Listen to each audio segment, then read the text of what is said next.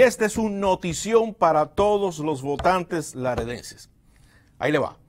Esta noche, el Departamento Administrativo de Elecciones del Condado de Webb informó que hasta hoy viernes un total de 13.897 laredenses han acudido a las urnas en estos primeros cinco días de las votaciones anticipadas, una cifra que supera de calle a la cantidad de votantes laredenses que salieron a votar en la primera semana de las votaciones adelantadas del año 2012. ¿Se acuerda? Barack Obama contra Mitt Romney. Bueno, hoy se informó que los horarios para que las personas puedan votar anticipadamente en estas elecciones generales serán extendidos hasta la fecha.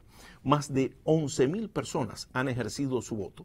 Y se les recuerda a quienes no han votado que durante el sábado y el domingo también podrán hacerlo.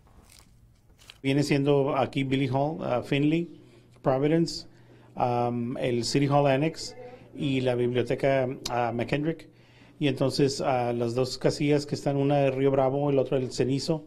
Y luego los móviles van a ir a, diferentes lugares en todo el condado.